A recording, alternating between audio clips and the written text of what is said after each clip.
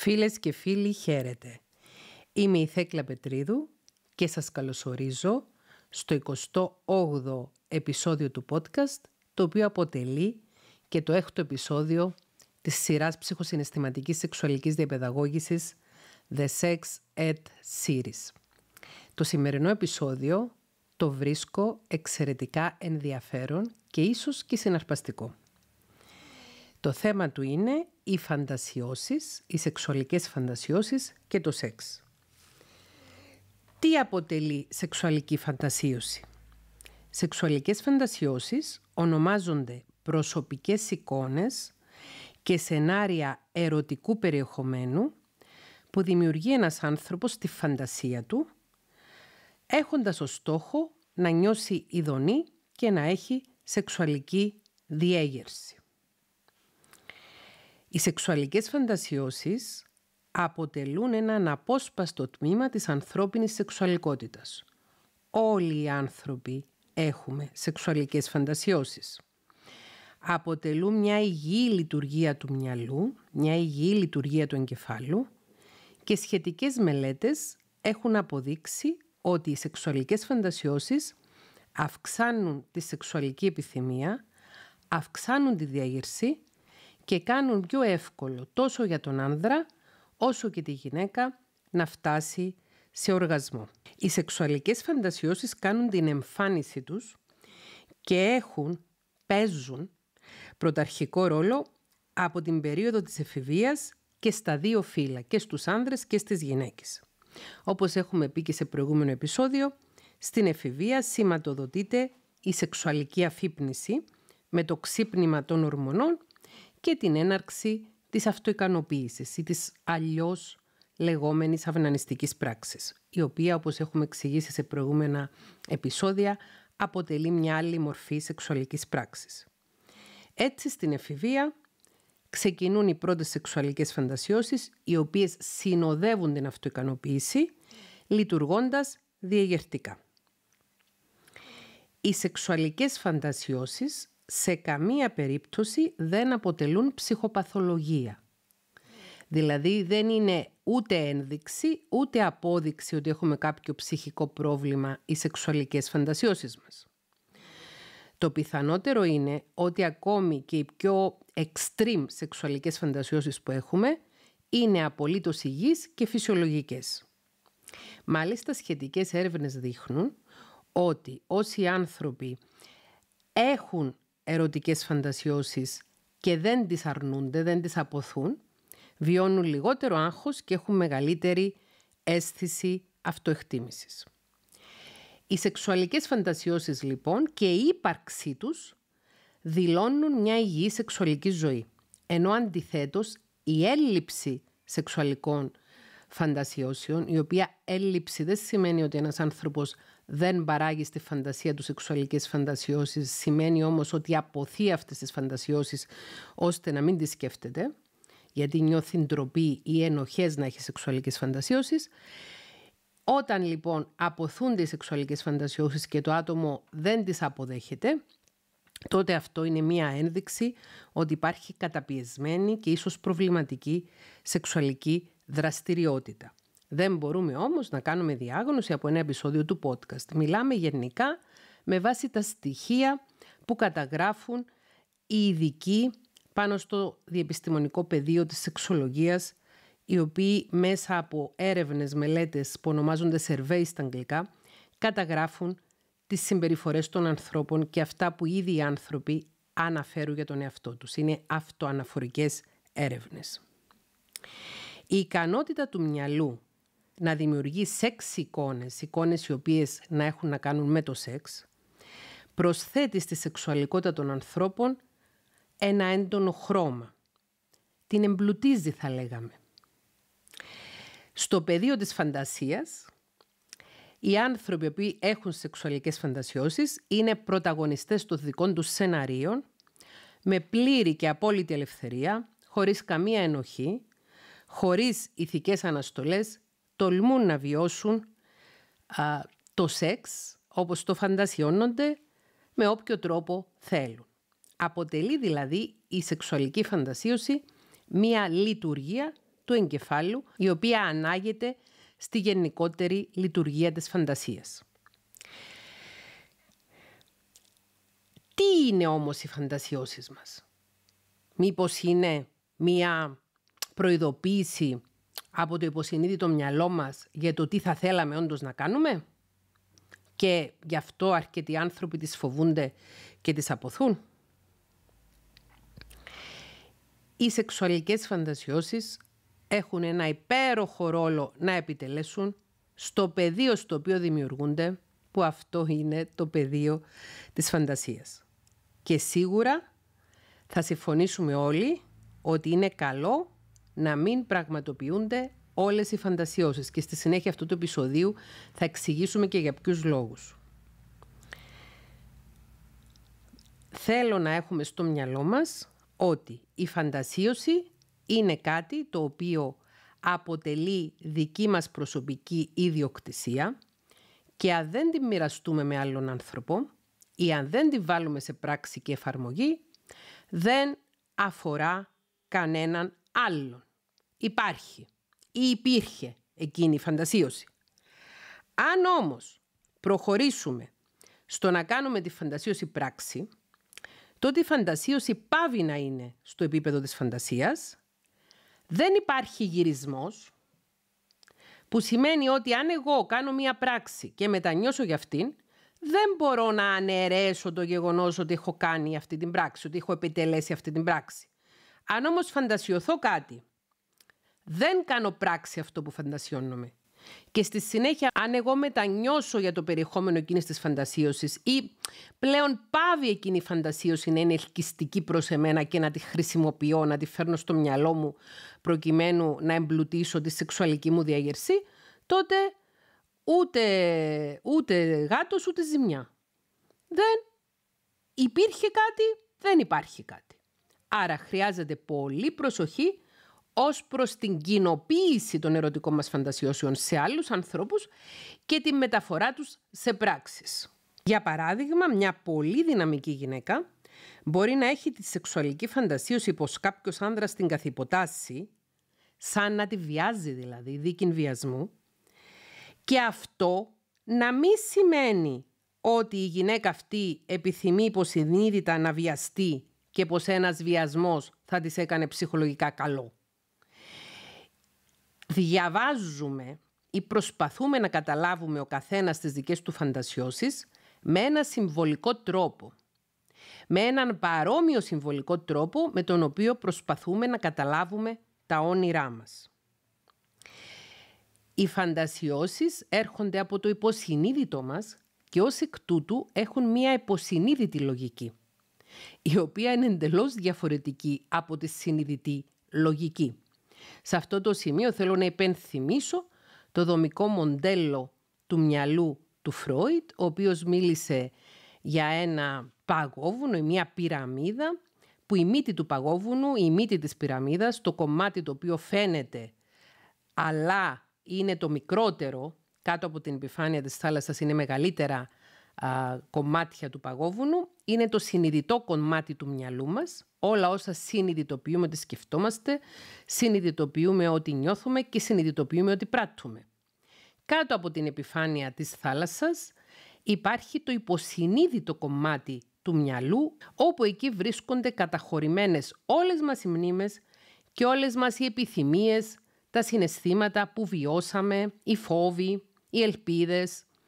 Και ακόμη πιο κάτω, ακόμη πιο βαθιά, και με ακόμη μεγαλύτερη έκταση βρίσκεται το ασυνείδητο κομμάτι του μυαλού, το κομμάτι εκείνος στο οποίο εδράζονται όλα τα πρωτόγωνα ένστιχτα και πολύ πιθανόν ένας άνθρωπος να ζήσει όλη του τη ζωή χωρίς να έρθει ποτέ σε επαφή με το ασυνείδητο κομμάτι του μυαλού του, γιατί ακριβώς βρίσκεται πολύ βαθιά κρυμμένο και η κοινωνικοποίηση που δεχόμαστε, η εκπαίδευση και η παιδεία μας βοηθάει ώστε να έχουμε πολύ ισχυρά όρια απέναντι στο ασυνείδητο μυαλό μας και να μην βάζουμε σε εφαρμογή πρωτόγονες παρορμήσεις.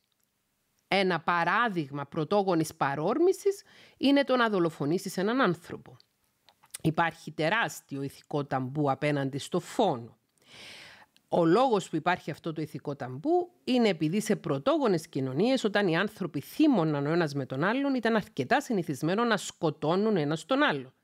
Η εξέλιξη της κοινωνίας, του πολιτισμού, της κουλτούρας, της ανθρώπινης σκέψης και της ανθρώπινης βίωτης μας έχει φέρει σε ένα σημείο που θεωρούμε πλέον απαγορευμένο το φόνο, ποινικά κολάσιμο, ήδη από τις 10 εντολές του Μωυσέως το ου φωνεύσεις ήταν μία εξαιρετικά σημαντική εντολή και ο λόγος για την οποία χρειάστηκε να μπει η εντολή το ου φωνεύσεις, χρειάστηκε να γίνει ταμπού η δολοφονία και ο φόνος, είναι γιατί ακριβώς συνέβαινε. Άρα στο ασυνείδητο μυαλό μας βρίσκονται οι πρωτόγονες παρορμήσεις μας, οι οποίες δεν ταιριάζουν με το σύγχρονο τρόπο ζωής. Λοιπόν, οι φαντασιώσεις μας εκπηγάζουν από το υποσυνείδητό μας και έχουν μία λογική η οποία δεν ταιριάζει με τη συνειδητή λογική.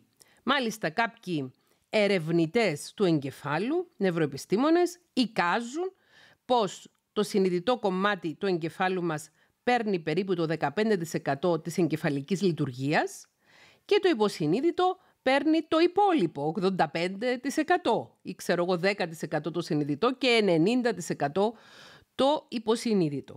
Σίγουρα όμως οι φαντασιώσεις δεν δημιουργούνται συνειδητά. Δεν κάθομαι τώρα και σκέφτομαι τώρα θα φανταστώ αυτό και αυτό και αυτό και αυτό. Οι φαντασιώσεις δημιουργούνται σε ένα υποσυνείδητο επίπεδο. Και αυτός ο σκοπός τον οποίο επιτελούν είναι να χαλαρώσουν έναν άνθρωπο και να τον βάλουν στη διάθεση να νιώσει μεγαλύτερη ειδονή, μεγαλύτερη ευχαρίστηση, μεγαλύτερη ερωτική διέγερση και μεγαλύτερη ε, ευχαρίστηση. Χρειάζεται όμως προσοχή, όπως έχουμε πει και προηγουμένως και θα πούμε και στη συνέχεια, για το ποιες από αυτές τις φαντασιώσεις ίσως θα επιλέξουμε να πραγματοποιήσουμε. Πηγαίνοντας πίσω στη δυναμική γυναίκα, τη φεμινίστρια, η οποία μπορεί να έχει τη σεξουαλική φαντασίωση πω κάποιος άνδρας την καθυποτάσει, σαν να τη βιάζει, ξαναλέω ότι αυτό δεν σημαίνει φυσικά πως η γυναίκα αυτή υποσυνείδητα επιθυμεί να βιαστεί και πώς θα της έκανε ψυχολογικά καλό να γίνει θύμα βιασμού. Αντιθέτως, αυτή η φαντασίωση Ίσως θέλει να στείλει το υποσυνείδητο μήνυμα στη γυναίκα ή με υποσυνείδητο τρόπο να στείλει το μήνυμα στη γυναίκα αυτή, πως την κουράζει το γεγονός πως συνέχεια είναι σε εγρήγορση για να ελέγχει τις συνθήκες και τις δυναμικές γύρω της, ούτως ώστε να μπορέσει να παραμείνει μια δυναμική γυναίκα. Σε μια πατριαρχική κοινωνία, για να μπορέσει μια γυναίκα να παραμείνει δυναμική και για να μπορέσει να δρά με δυναμικό και φεμινιστικό τρόπο χρειάζεται να είναι συνεχώς σε γρήγορση ούτως ώστε να εντοπίζει τις ανισότητες, τις έμφυλες ανισότητες, να μυρίζεται την έμφυλη βία, να μυρίζεται τον μισογυνισμό και να προστατεύει τον εαυτό της και τις άλλες γυναίκες από αυτό. Αυτό είναι κάτι κουραστικό και πολύ εξουθενωτικό. Και γι' αυτό σε γυναίκες έντονα δυναμικές και φεμινίστριες μπορεί να παρατηρηθεί να έχουν σεξουαλικές φαντασιώσεις βιασμού. Γιατί ακριβώς το υποσυνείδητό τους προσπαθεί να τους δώσει το μήνυμα ότι έχει κουραστεί πάρα πολύ. Αν πάρουμε λίγο παρακάτω τη μαντεψιά μας με τη φαντασίωση της υποταγής μιας δυναμικής γυναίκας και να προσπαθήσουμε λίγο να την ερμηνεύσουμε σε ένα συμβολικό πλαίσιο, ίσως αυτό να μπορούσε να δείχνει ότι η γυναίκα αυτή υποσυνείδητα επιθυμεί να αφαιθεί με ασφάλεια σε μια σεξουαλική συνέβρεση με έναν ή μία σύντροφο με τον οποίο ή την οποία να έχει τόση εμπιστοσύνη ώστε να μην χρειάζεται να έχει τον έλεγχο. Και εδώ θέλω να πω ότι σχετικές έρευνες έχουν καταδείξει ότι και ετεροφιλόφιλες γυναίκες και ομοφιλόφιλες γυναίκες μπορεί να έχουν αυτή τη σεξουαλική φαντασίωση χωρίς αυτό να σημαίνει κάτι για τον ερωτικό τους προσανατολισμό. Με τον ίδιο τρόπο και ένας άνδρας ανεξαρτήτως ερωτικού προσανατολισμού ο οποίος φαντασιώνεται ότι έχει ένα υποτακτικό ρόλο στη σεξουαλική πράξη, ίσως και στα πλαίσια της εξάσκησης σαδομαζοχιστικών συνενετικών τακτικών, αυτό να είναι ένα σημάδι πως αυτός ο άνδρας είναι ταλαιπωρημένος από τις πολλές και συνεχείς ευθύνες και θα επιθυμούσε να νιώσει, να νιώσει σεξουαλικότητα, να νιώσει ευχαρίστηση, να νιώσει απελευθέρωση χωρίς καμιά ευθύνη. Ο όρος σαδομαζοχιστικές τακτικές, ο οποίος στα αγγλικά αναφέρεται ως BDSM, με τα αρχικά BDSM, αναφέρεται σε σεξουαλικές πρακτικές στις οποίες δύο συνενούντες σύντροφοι, δύο άνθρωποι που το συμφωνούν μεταξύ τους, γίνεται επειδή το θέλουν και οι δύο, χρησιμοποιούν μέσα σε πλαίσια, μέσα σε όρια και με τη χρήση ασφαλών λέξεων ή αλλιώς safe word, κάποιες πρακτικές οι οποίες προκαλούν είτε ελεγχόμενο πόνο, είτε ελεγχόμενη υποταγή. Υπάρχει μια κοινότητα ανθρώπων οι οποίοι ασχολούνται με τις σαδομαζοχιστικές ε, τακτικές και έχουν κάνει εξαιρετικά μεγάλο αγώνα ούτως ώστε να απενοχοποιηθούν οι σαδομαζοχιστικές συνενετικές σεξουαλικές πρακτικές και να αποκλινικοποιηθούν και να αφαιρεθούν από τον DSM ως μία κλινική κατηγορία. Συγκεκριμένα, τον DSM-5, η έκδοση του 2013 του DSM, DSM σημαίνει Diagnostic Statistical Manual, είναι ένα διαγνωστικό εγχειρίδιο το οποίο κατατάσσει τις ψυχικές διαταραχές και εκδίδεται από την Αμερικανική Ψυχιατρική Εταιρεία, μέχρι τον DSM 4 Text Revise, μέχρι την βελτιωμένη έκδοση του DSM-4. Το θυμάμαι γιατί έχω και το ε, original, το αυθεντικό αντίτυπο της έκδοσης του DSM-4 Text Revise, κατηγοριοποιούσε τις σαδομαζιχιστικές σεξουαλικές πρακτικές στις παραφιλίες. Όμως, από τον DSM-5 και μετά, επειδή το 2013 εκδόθηκε τον DSM-5 και το 2022 εκδόθηκε η βελτιωμένη έκδοση του DSM-5, τον DSM-5 Text Revise, έχουν βγάλει τις σαδομαζοχιστικές σεξουαλικές πρακτικές από τις παραφιλίες και αναφέρονται ως εναλλαγές στις σεξουαλικές πρακτικές. Έχουν δηλαδή θεωρηθεί πλέον από τον DSM ότι δεν αποτελούν κάποια παραφιλία. Με κάποιους όρους φυσικά, δεδομένου ότι αυτές συμβαίνουν μεταξύ συνενούν των ενηλίκων, η συνένεση είναι απαραίτητη για κάθε σεξουαλική πράξη, γιατί αφορά δύο ή περισσότερους ανθρώπους, δεν αφορά μόνο τον εαυτό μας, και σε πλαίσιο που να μην βάζει σε κίνδυνο κανένα συμμετέχοντα. Με βάση τον DSM-5, μια παραφιλία είναι απαραίτητη, αλλά όχι αρκετή συνθήκη για τη διάγνωση μιας παραφιλικής διαταραχής και η παραφιλία αυτή καθ' αυτή δεν δικαιολογεί ούτε απαιτεί κλινική παρέμβαση. Πέρα από τον BDSM, παλιότερα στον DSM και η ομοφιλοφιλία κατηγοριοποιούνταν ως διαταραχή η οποία αφαιρέθηκε θριαμβευτικά το 1973, 50 χρόνια πριν. Η επίσημη διάγνωση των TSM για την παραφιλική διαταραχή είναι μια παραφιλία που προκαλεί δυσφορία ή βλάβη στο άτομο ή μια παραφιλία της οποίας η ικανοποίηση περιλαμβάνει την προσωπική βλάβη ή τον κίνδυνο πρόκλησης βλάβης σε άλλους ανθρώπους.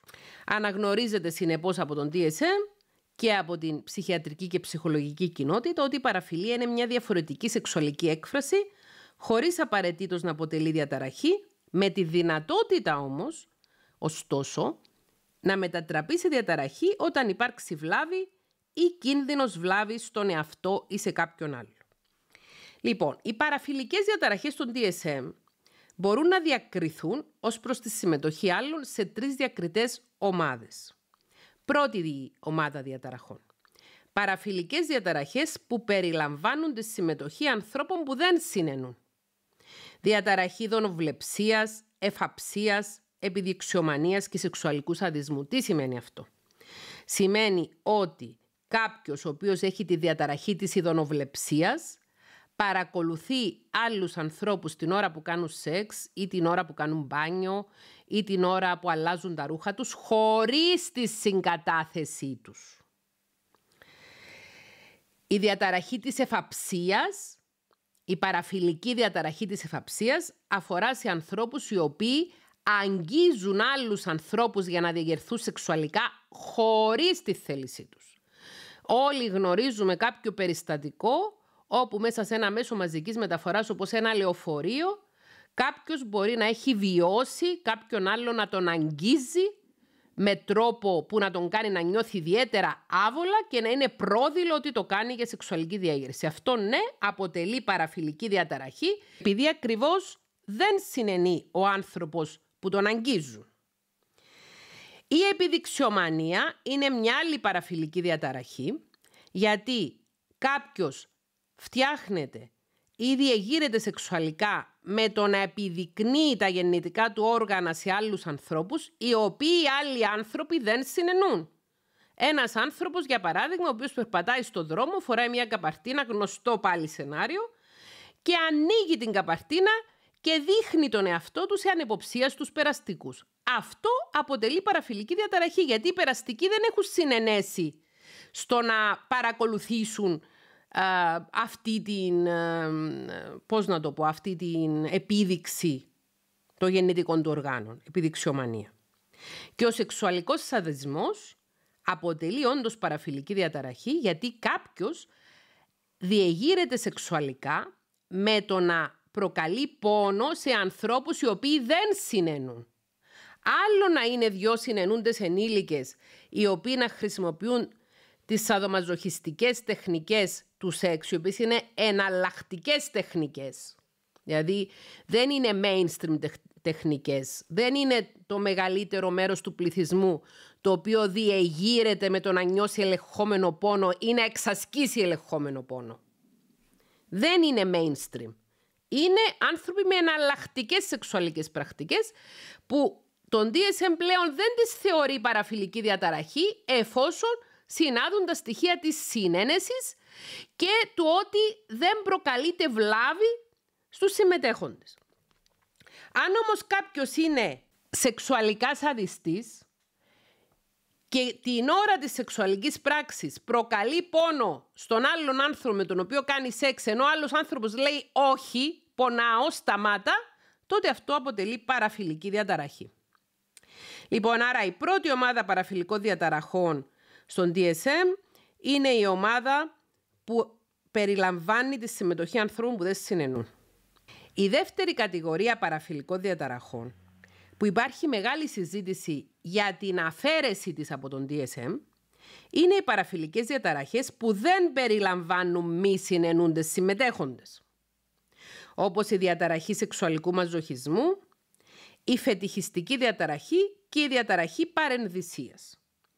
Η διαταραχή σεξουαλικού μαζοχισμού σημαίνει κάποιος να διεγείρεται ερωτικά όταν βιώνει ελεγχόμενο πόνο και να συνενεί να συμμετέχει σε μια σαδομαζοχιστική σεξουαλική πρακτική όπου αυτός να παίζει το ρόλο του υποτασσόμενου, αυτού που βιώνει τον πόνο και να διεγείρεται με αυτόν τον τρόπο. Οι άνθρωποι οι οποίοι εκπροσωπούν τη σαδομαζοχιστική σεξουαλική κοινότητα επιχειρηματολογούν ότι αυτή η κατηγορία διαταραχών, παραφιλικών διαταραχών που δεν περιλαμβάνουν μη συνενούντες συμμετέχοντες, μεταξύ των οποίων είναι και η διαταραχή σεξουαλικού μαζοχισμού, πρέπει να αφαιρεθεί από τον DSM. Επίσης η φετιχιστική διαταραχή θεωρείται ότι πρέπει να αφαιρεθεί από τον DSM.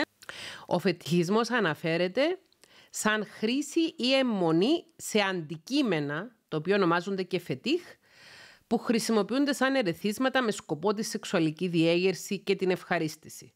Ένα φετίχ, για παράδειγμα, μπορεί να είναι τα γυναικεία εσώρουχα. Υποστηρίζεται ότι η φετιχιστική διαταραχή θα πρέπει να αφαιρεθεί από τις παραφιλικές διαταραχές. Γιατί δεν ενοχλείται κανένας αν κάποιος ερεθίζεται σεξουαλικά από τη χρήση ή τη σκέψη συγκεκριμένων αντικειμένων. Επίσης, η παρενδυσία η οποία με βάση τον DSM-5 μπαίνει στις διατα... παραφιλικές διαταραχές που δεν περιλαμβάνουν μη συνενούντες συμμετέχοντες, αναφέρεται στη διέγερση και τη σεξουαλική ευχαρίστηση με την αμφίεση των ρούχων του αντίθετου φύλου. Ξαναλέω, αυτή η δεύτερη κατηγορία παραφιλικό διαταραχό στον DSM-5 υπάρχει ισχυρότατη άποψη, επιστημονική άποψη και υπάρχει ισχυρότατο λόμπι για την αποχώρηση της από τις διαταραχές. Η τρίτη κατηγορία όμως πρέπει οπωσδήποτε να παραμείνει στις παραφιλικές διαταραχές και είναι η συμμετοχή ανηλίκων ή αλλιώς παιδοφιλία. Ξαναλέω για τις παραφιλικές διαταραχές στον DSM-5. Είναι πρώτα οι παραφιλικές διαταραχές που περιλαμβάνονται στη συμμετοχή ανθρώπων που δεν συνενούν, η οποία κατά τη γνώμη μου είναι μια εξαιρετικά καλή κατηγορία, γιατί κανείς δεν θέλει να γίνεται στόχος ειδονοβλεψίας, εφαψίας, επιδειξιομανίας και σεξουαλικού σαδισμού. Η δεύτερη ε, ομάδα είναι οι παραφιλικές διαταραχές που δεν περιλαμβάνουν μη συνενούντες συμμετέχοντες που και κατά τη δική μου γνώμη πρέπει να αφαιρεθεί από τις διαταραχές διαταραχή σεξουαλικού μαζοχισμού, φετιχιστική διαταραχή και διαταραχή παρενδυσίας και η τρίτη ομάδα η συμμετοχή ανηλίκων παιδοφιλία πρέπει οπωσδήποτε να παραμείνει και αν μη τι άλλο να τονιστεί. Γιατί έχουμε μιλήσει για τη διάγνωση των παραφιλιών στον DSM. Γιατί όντως κάποιες φαντασιώσεις μπορεί να περιλαμβάνουν παραφιλίες. Δεν είναι αρκετά συχνό φαινόμενο, αλλά μπορεί να συμβεί. Εάν έχουμε μία σεξουαλική φαντασίωση η οποία έχει σχέση με μια παραφιλική διαταραχή που περιλαμβάνει μη συνενούντες ενήλικες, πρέπει οπωσδήποτε να βάλουμε φρένο στον εαυτό μας και να μην ενεργήσουμε πάνω σε αυτές τις παραφιλικές σεξουαλικές ερωτικές φαντασιώσεις. Γιατί αυτή η πράξη, το να βάλουμε σε πράξη ε, παραφιλικές σεξουαλικές φαντασιώσεις που περιλαμβάνουν μη συνενούντες ενήλικες, θα προκαλέσει δυσφορία ή βλάβη σε άλλους ανθρώπους. Έτσι, μέσα σε αυτό το πλαίσιο, θεραπεία χρειάζονται όσοι επιδιώκουν μη συνενετική σεξουαλική δράση ώστε να ελέγξουν τις ορμές τους. Εκείνοι οι οποίοι εμφανίζουν ασυνήθιστα σεξουαλικά ενδιαφέροντα, αλλά βάζουν σε πράξη τα ενδιαφέροντα τους με άλλους συνενούντες ενήλικες, δεν χρήζουν καμίας απολύτως θεραπείας. Εφόσον πραγματοποιούν τα ασυνήθιστα σεξουαλικά τους ενδιαφέροντα με άλλους συνενούντες ενήλικες. Τι γίνεται με τα ζευγάρια; Εάν ένας από τους δύο έχει κάποιες ασυνήθιστες σεξουαλικές φαντασιώσεις ή κάποιες σεξουαλικές φαντασιώσεις τις οποίες δεν θέλει να μοιραστεί με το άλλο μέρος του ζευγαριού, πρέπει να το μοιραστεί; Όχι. Γιατί οι σεξουαλικές φαντασιώσεις και το πραγματικό σεξ συνυπάρχουν σε διαφορετικά επίπεδα.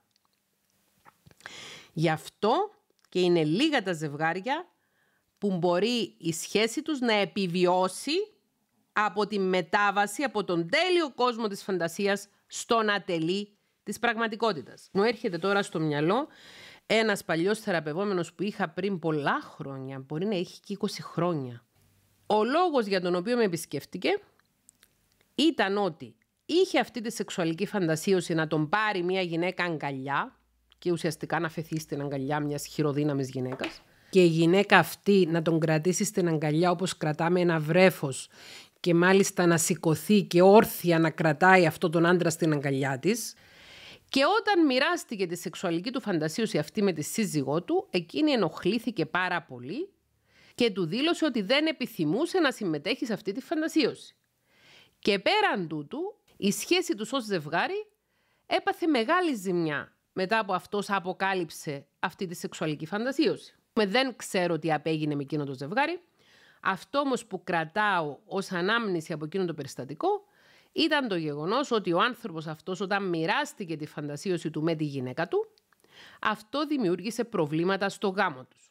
Λοιπόν, λίγα ζευγάρια θα αντέξουν την αποκάλυψη των ερωτικών φαντασιώσεων του ενός στον άλλο οι σεξουαλικές φαντασιώσεις και το πραγματικό σεξ συνυπάρχουν σε διαφορετικά επίπεδα. Εδώ οι φαντασιώσεις, εδώ το σεξ. Ή εδώ το σεξ, εδώ οι φαντασιώσεις. Δεν είναι στο ίδιο επίπεδο. Η ονειροπόληση γύρω από το σεξ, οι σεξουαλικές φαντασιώσεις δηλαδή, είναι απολύτως φυσιολογική και αν χρησιμοποιήσεις τη διέγερση που σου δίνει η φαντασίωση και πάρεις ιδέες από τη σεξουαλική σου φαντασίωση για το πώς να εμπλουτίσεις τη σεξουαλική σου ζωή με τον σύντροφό σου, μπορεί η σεξουαλική σου φαντασίωση, χωρίς απαραίτητος να γίνει ρητή και ξεκάθαρη μέσα στη σεξουαλική σχέση, να βοηθήσει τη σεξουαλική σχέση. Αν την δεις δηλαδή ως μια φαντασίωση την οποία παρατηρείς και προσπαθείς να την καταλάβεις και να πάρεις τα μηνύματα.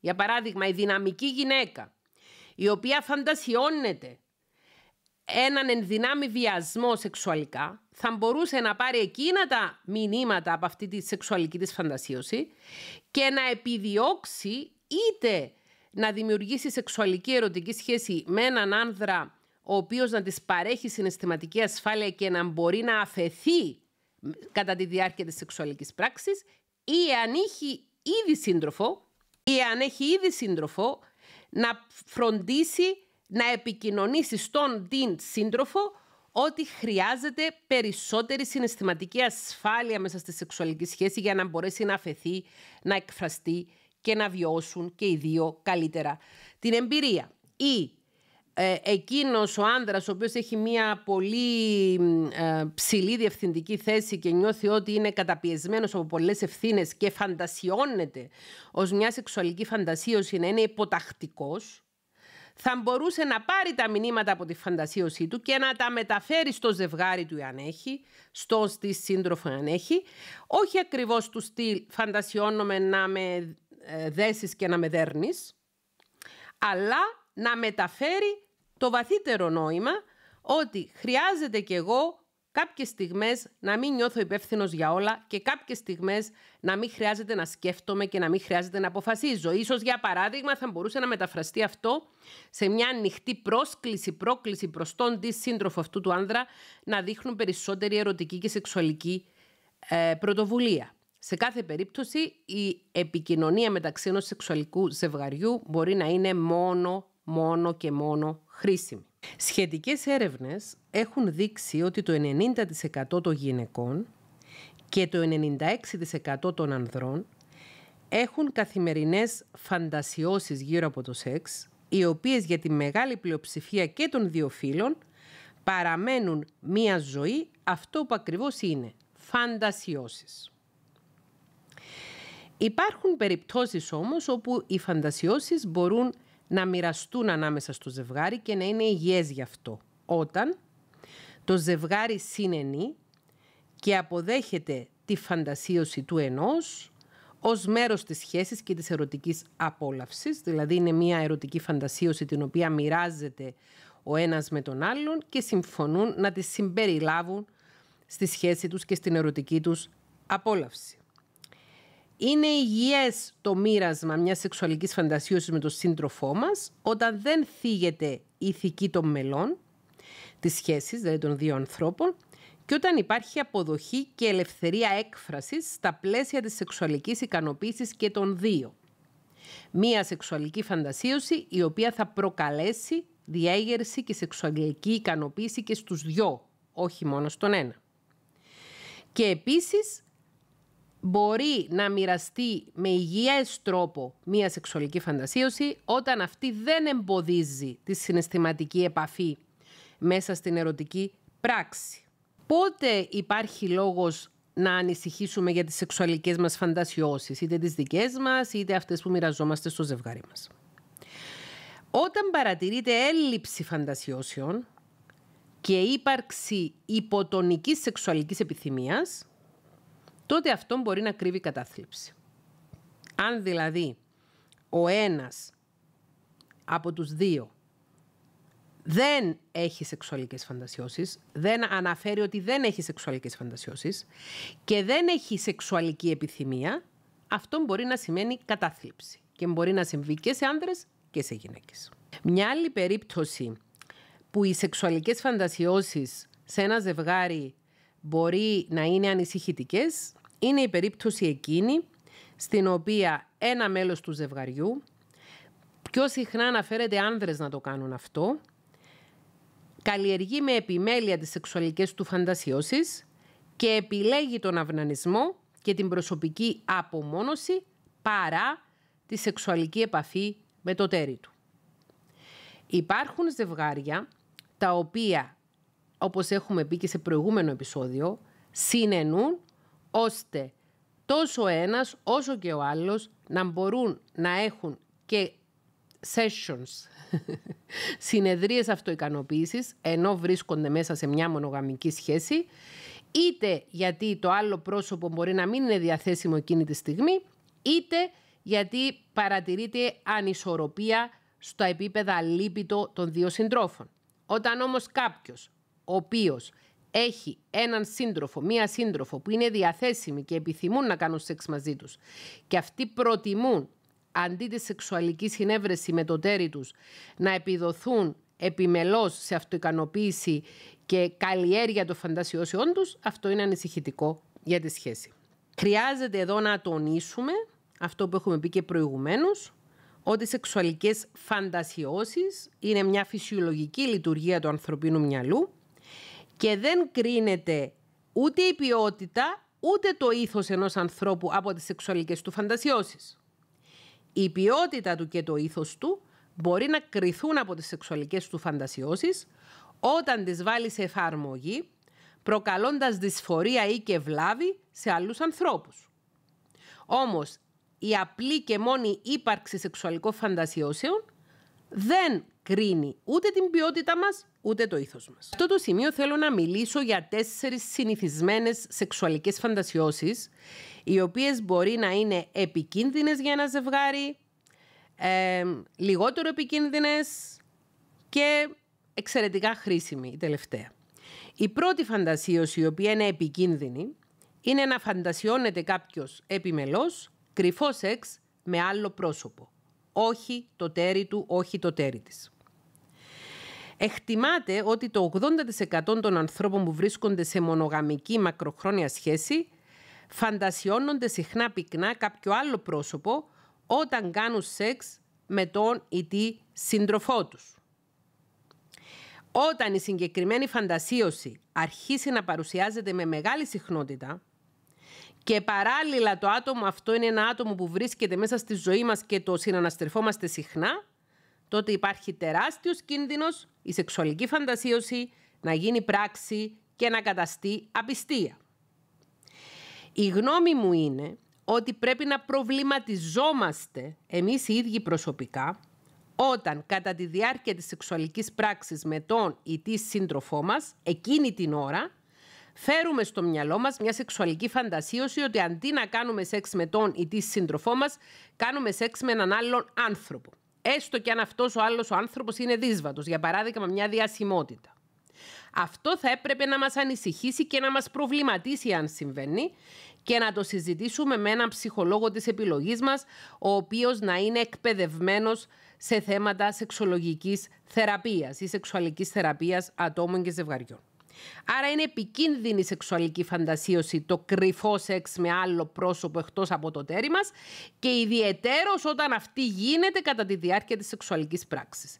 Και μπορεί να είναι εξαιρετικά τραυματικό να ανακαλύψει ή να μάθει το τέρι μας ότι όταν εμείς κάναμε σεξ μαζί τους φαντασιωνόμαστε έναν άλλο άνθρωπο και τότε στην ουσία τους χρησιμοποιούμε σαν ένα αντικείμενο, όχι σαν ανθρώπους, σαν ένα αντικείμενο πάνω στο οποίο αυνανιζόμαστε ουσιαστικά, έχοντας τη σεξουαλική φαντασίωση το ότι κάνουμε σεξ με έναν άλλον άνθρωπο. Σκεφτείτε πώς θα νιώθατε εσείς εάν αυτό συνέβαινε από την άλλη πλευρά. Χρειάζεται να αντιμετωπίζουμε με σοβαρότητα το τέρι μας και τον εαυτό μας και τη σχέση μας. Άρα είναι εξαιρετικά επικίνδυνη φαντασίωση το σεξ με άλλο πρόσωπο. Μια άλλη σεξουαλική φαντασίωση, η οποία μπορεί να είναι επικίνδυνη, είναι το ομαδικό σεξ. Έχει παρατηρηθεί μέσα από τις μελέτες ότι οι άντρες πιο συχνά φαντασιώνονται ομαδικό σεξ, με πολλά άτομα, δηλαδή σεξ με δύο, τρία, τέσσερα άτομα, συγκριτικά με γυναίκες. Το ομαδικό σεξ ως φαντασίωση μπορεί να είναι επικίνδυνη φαντασίωση όταν κάποιος το καλλιεργεί επιστάμενα και μπορεί να φτάσει στο σημείο να επιδιώξει να το πράξει. Είτε να επιδιώξει να το πράξει με συμμετοχή του της συντρόφου, είτε έξω από το πλαίσιο της σχέσης. Όταν το πράξει έξω από το πλαίσιο της σχέσης αυτό συνιστά οπωσδήποτε απιστία, ασχέτως αν είναι με περισσότερα από ένα άτομα και υπάρχουν και περιπτώσεις που κάποιοι άνθρωποι ζητούν έντονα από το τέρι τους να συμμετέχουν σε ομαδικές σεξουαλικές πράξεις και το τέρι τους να συνενεί όχι όμως κατόπιν ελεύθερης βούλησης, αλλά κατόπιν επίκλησης στο συνέστημα και αυτό να αποτελεί σε πολλαπλά επίπεδα, σε πολλαπλά επίπεδα, κακοποίηση του συντρόφου τους. Υπάρχει μία συμβολική εξήγηση του γιατί μπορεί κάποιος άνθρωπος να φαντασιώνεται το ομαδικό σεξ. Θυμάστε προηγουμένως μιλήσαμε για συμβολικές εξηγήσεις των σεξουαλικών φαντασιώσεων και έχει βρεθεί ότι πρόσωπα τα οποία νιώθουν παραμελημένα συναισθηματικά και έχουν μεγαλώσει με ένα παραμελητικό αποστερητικό συναισθηματικό τρόπο από γονείς και φροντιστές οι οποίοι δεν τους κάλυπταν τις συναισθηματικές τους ανάγκες και νιώθουν ότι μέσα στην παρούσα σεξουαλική σχέση τους δεν καλύπτουν τι σεξουαλικές τους ανάγκες και δεν λαμβάνουν την προσοχή, την επιμέλεια, την ένταση που επιθυμούν από τον την σεξουαλικό τους παρτενέρ να φαντασιώνονται ομαδικό σεξ και σε ένα συμβολικό πλαίσιο αυτό να σημαίνει ότι θέλω περισσότερα από τη σεξουαλική μου ζωή. Ως α, ψυχολόγος έχω παραστεί μάρτυρας ζευγαριών το οποίο έπαθαν τεράστια ζημιά στη σχέση τους μετά που έβαλα σε εφαρμογή σεξουαλικές φαντασιώσεις για ομαδικό σεξ. Φυσικά θα μου πείτε αυτοί που έβαλα σε εφαρμογή σεξουαλικές φαντασιώσεις για ομαδικό σεξ και δεν έπαθε ζημιά η σχέση τους, δεν θα ερχόντουσαν σε σένα και θα συμφωνήσω με αυτό. Όμως, ως ψυχολόγος διατηρώ μια μεγάλη επιφύλαξη στο κατά πόσο η σεξουαλική φαντασίωση του ομαδικού σεξ είναι καλή ιδέα να γίνεται πράξη. Μια λιγότερο επικίνδυνη σεξουαλική φαντασίωση είναι το σεξ σε δημόσιο χώρο. Πολλοί άνθρωποι φαντασιώνονται να κάνουν σεξ όχι στο υπνοδωμάτιο, όχι στο κρεβάτι τους, αλλά σε μια παραλία, στη θάλασσα, μέσα στον κινηματογράφο κάνουν κάποιοι άνθρωποι, εκεί που υπάρχει ο κίνδυνος να τους πιάσουν στα πράσα. Στο μυαλό των περισσότερων ανθρώπων το σεξ σε δημόσιο χώρο είναι περιπετειώδες, γεννά πάθος και ανεβάζει την αδρεναλίνη στα ύψη. Είναι όμως και αρκετά επικίνδυνο αρκετά επικίνδυνο με την έννοια του ότι εάν α, γίνεις τσακωτός ότι κάνεις σεξ σε δημόσιο μέρος, αυτό δεν είναι κάτι που είναι νόμιμο, είναι παράνομο να κάνεις σεξ σε δημόσιο μέρος. Για παράδειγμα, αν συλληφθείς να κάνεις σεξ μέσα σε ένα κινηματογράφο, θα συλληφθείς. Δεν θα σε κάνουν απλώς τσακωτό, θα συλληφθεί κιόλας. Δεν γνωρίζω καλά τον ποινικό κώδικα και τι ισχύει στην κάθε χώρα. Γνωρίζω όμως ότι είναι απαγορευμένο το σεξ σε δημόσιο χώρο. Πάμε τώρα στην τέταρτη σεξουαλική φαντασίωση, η οποία μπορεί να είναι εξαιρετικά χρήσιμη για ένα ζευγάρι. Το ρομαντικό σεξ. Η φαντασίωση του ρομαντικού σεξ. Είναι η πιο ακίνδυνη και αθώα από όλες τις φαντασιώσεις και μπορείς ευχάριστα και άνετα και συστήνεται να τη μοιραστείς με τον ή τη σύντροφό σου τη φαντασίωση του να κάνετε πολύ ρομαντικό σεξ, γεμάτο από συναισθήματα αγάπης, τρυφερότητας και έρωτα, στο σπίτι, στο σαλόνι για παράδειγμα, υπό το φως των κεριών ή στην παραλία, σε μια ερημική παραλία που δεν μπορεί να σας πιάσουν τσακωτούς, την ώρα που δει ο ήλιος και να κοιτάτε ο ένας τον άλλον στα μάτια και να φιλιέστε έντονα και παθιασμένα. Η φαντασίωση, η σεξουαλική φαντασίωση του ρομαντικού σεξ είναι εξαιρετικά χρήσιμη και χρειάζεται να την μοιραζόμαστε με το τέρι μας εάν την έχουμε, γιατί σε καμία περίπτωση δεν μπορεί να προκαλέσει ε, ζημιά στη σχέση, κάτι τέτοιο. Για να καταλάβουμε λίγο καλύτερα τη λειτουργία της σεξουαλικής φαντασίωσης, είναι καλή ιδέα να την αντιπαραθέσουμε με την καθημερινή ονειροπόληση, που στα αγγλικά ονομάζεται daydreaming. Να ονειρεύεσαι ξυπνητός δηλαδή. Οι σεξουαλικές φαντασιώσεις είναι ένα απόσπαστο κομμάτι της ζωής μας, επίσης απαραίτητο, όπως είναι και η καθημερινή ονειροπόληση. Σαν βιολογική διαδικασία, σαν λειτουργία του εγκεφάλου, το daydreaming, η καθημερινή ονειροπόληση και οι σεξουαλικές φαντασιώσεις δεν διαφέρουν. Είναι με τον ίδιο τρόπο που παράγει ο εγκέφαλος το daydreaming, την ονειροπόληση ενώ είμαστε ξύπνοι και τις σεξουαλικές φαντασιώσεις. Και στις δύο περιπτώσεις, ο άνθρωπος χρησιμοποιεί την ικανότητα της συνείδησης του εγκεφάλου να παράγει ένα ταξίδι φαντασίας που αποσκοπεί σε κάποια ευχαρίστηση, σε κάποια απόλαυση. Στη σεξουαλική φαντασίωση χρησιμοποιούμε τη φαντασία για να διεγείρουμε συγκεκριμένα σεξουαλικά μας ένστικτα με έναν τρόπο που μπορεί να μην πραγματοποιείται ποτέ όπως έχουμε τονίσει αρκετές φορές προηγουμένως σε αυτό το επεισόδιο. Η φαντασίωση με τον καιρό γίνεται ένα ασφαλές ταξίδι της σκέψης μας με απόλυτη επιτυχία στην απόλαυση στο επίπεδο της φαντασίας. Χωρίς αυτό να σημαίνει ότι περιμένουμε ή ψάχνουμε για να το πραγματοποιήσουμε στην πράξη. Πότε μοιράζεται ένα ζευγάρι τις σεξουαλικές του φαντασιώσεις και αυτό είναι κάτι χρήσιμο και υγιές για το ζευγάρι; Είπαμε ότι η καλύτερη περίπτωση είναι να μοιραστούν μια ρομαντική σεξουαλική φαντασίωση, να συνενούν και οι δύο στο να μπει σε εφαρμογή σεξουαλική φαντασίωση που μοιράζονται και όταν κανένας από τους δύο δεν χρειάζεται να πιεστεί στην προσωπική του ηθική για κάτι που κάνει. Υπάρχουν άνθρωποι οι οποίοι επιζητούν τόσο πολύ να παραμείνουν μέσα σε μια σχέση, βάζουν τόσο πολύ την επιθυμία να είναι σε σχέση πιο ψηλά πάνω από τις αρχές και τις αξίες τους και το τι τους κάνει να νιώθουν πραγματικά ο εαυτός τους και να είναι ελεύθεροι. Δεν είναι καθόλου καλή ιδέα να μπαίνουμε στη διαδικασία, να συνενούμε και να συνεργούμε στην εκπλήρωση μιας σεξουαλικής φαντασίωσης του συντρόφου μας, η οποία εμάς τους ίδιους προσωπικά μας βρίσκει κάθετα αντίθετους.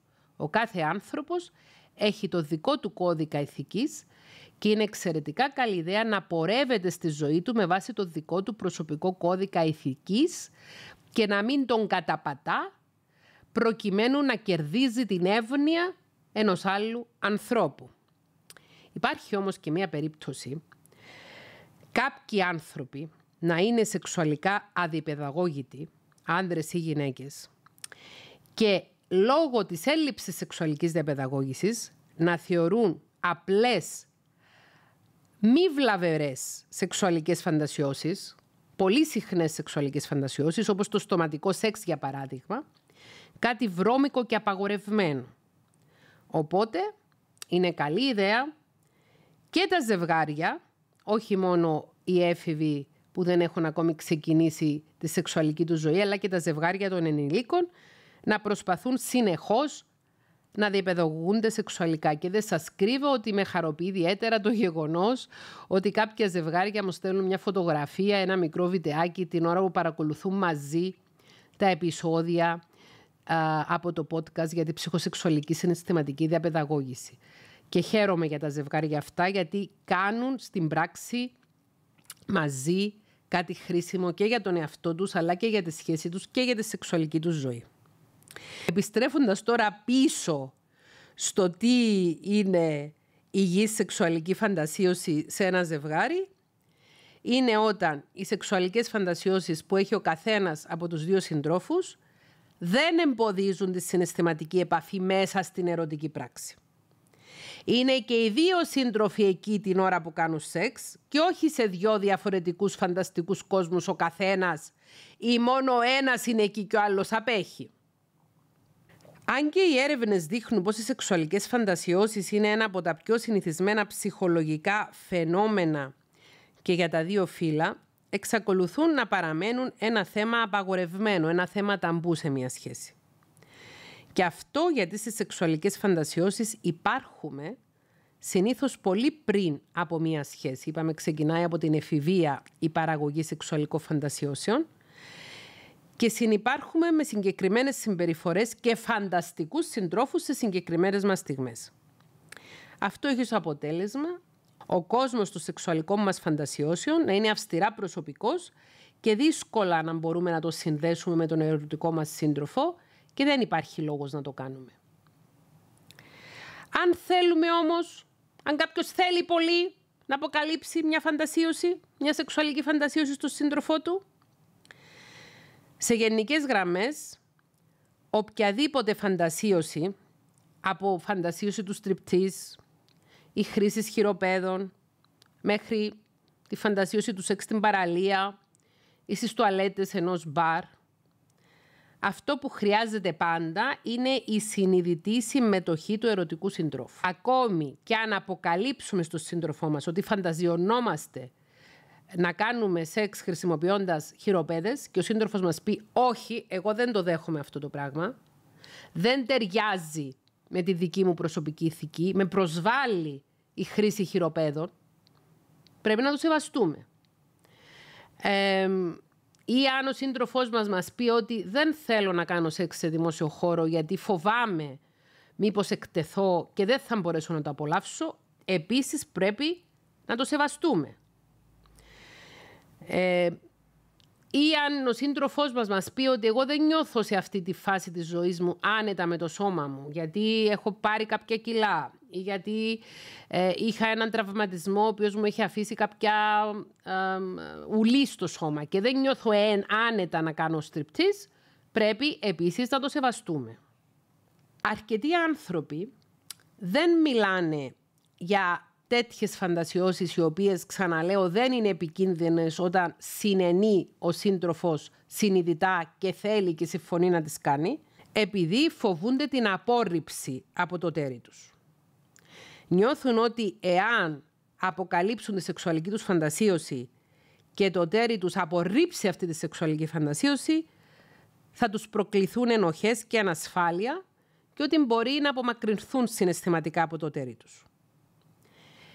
Εφόσον μιλάμε για υγιείς φαντασιώσεις, φαντασιώσεις οι οποίες δεν περιλαμβάνουν τη βλάβη ενός άλλου ανθρώπου και δεν περιλαμβάνουν παράνομες πράξεις, όπως έχουμε πει προηγουμένως, ποιες είναι οι παράνομες και ανησυχητικές πράξεις, ίσως είναι ένδειξη καλής σχέσης ενός ζευγαριού να μοιράζονται αυτές τις φαντασιώσεις. Ξαναλέω όμως ότι χρειάζεται πολλή ευαισθησία, πολύ βαθιά και καλή επικοινωνία ανάμεσα στο ζευγάρι, ώστε ούτε αυτός που θα αποκαλύψει τη φαντασίωση του να νιώσει ότι μένει ευάλωτος και εκτεθειμένος και τον κοροϊδεύει ο άλλος, ούτε αυτός ο οποίος μαθαίνει για τη φαντασίωση του άλλου συντρόφου να νιώσει πίεση να πράξει πάνω σε κάτι που δεν αποτελεί δική του φαντασίωση.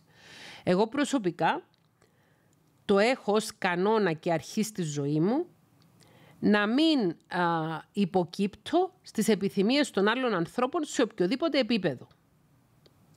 Ξαναλέω, στις επιθυμίες των άλλων ανθρώπων. Δεν μιλάω για τις δικές μου προσωπικές ευθύνες. Για παράδειγμα, είμαι μητέρα. Έχω πάρει την προσωπική ευθύνη, έχω επιλέξει προσωπικά να γίνω μητέρα, οπότε από το ρόλο της μητέρας εκπηγάζουν κάποιες υποχρεώσεις. Αυτές δεν είναι επιθυμίες των άλλων ανθρώπων, είναι δικές μου προσωπικές υποχρεώσεις. Αλλά σε όλες μου τις διαδράσεις με άλλους ανθρώπους, όχι απαραίτητος στο σεξουαλικό τομέα, το έχω ως αρχή ότι αν κάτι δεν αποτελεί και δική μου επιθυμία, δεν θα πράξω πάνω σε αυτό. Και θεωρώ ότι είναι ένας χρήσιμος κανόνας αυτός. Δηλαδή, ας το σκεφτούμε έτσι και λίγο χιουμοριστικά. Δεν μας φτάνουν οι δικές μας σεξουαλικές φαντασιώσεις που τις έχουμε στο μυαλό μας. Πρέπει να μπούμε και στη διαδικασία να ικανοποιήσουμε τις σεξουαλικές φαντασιώσεις των άλλων που για μας δεν αποτελούν κάτι ελκυστικό. Σκεφτείτε το.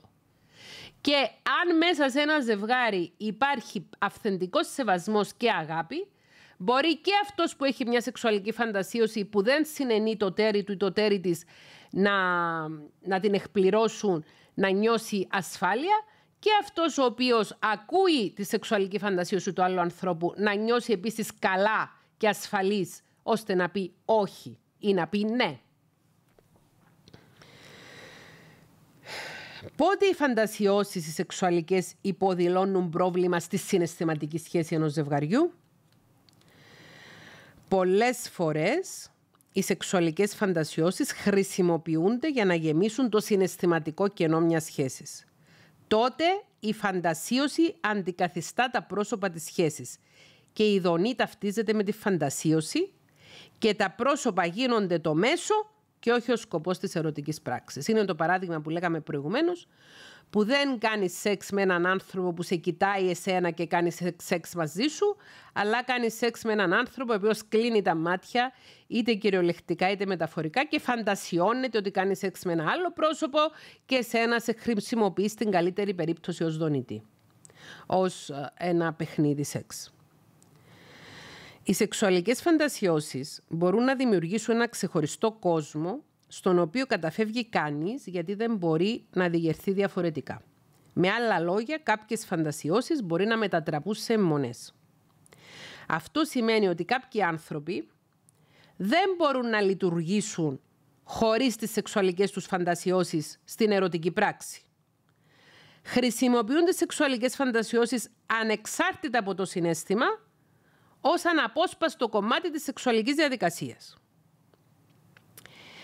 Αυτό μπορεί να σημαίνει κακή επικοινωνία του ενός συντρόφου με τον άλλο, μπορεί να σημαίνει έλλειψη σεξουαλικού ενδιαφέροντος για το άλλο πρόσωπο και σίγουρα δεν μιλάμε για μια υγιή σεξουαλική σχέση.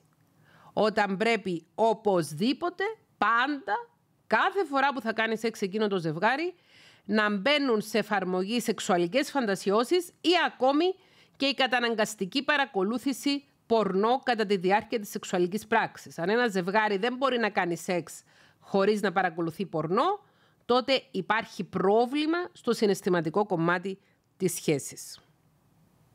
Ξανατονίζουμε ότι όσο απαγορευμένη και αν είναι μια σεξουαλική σκέψη, μια σεξουαλική φαντασίωση, μπορεί, εάν παραμείνει στο επίπεδο της φαντασίωσης, να λειτουργήσει ευεργετικά στην ερωτική πράξη. Όταν όμως η φαντασίωση γίνει πράξη, σε κάποιες περιπτώσεις αυτό μπορεί να οδηγήσει σε ακρότητες που να ξεφεύγουν από την έννοια της σεξουαλικής επαφής, όπως η πρόκληση σωματικής βλάβης και η πρόκληση ψυχολογικής δυσφορίας. Τεράστια προσοχή και βλέπετε εδώ στις σημειώσεις μου το έχω βάλω με κόκκινο γράμμα.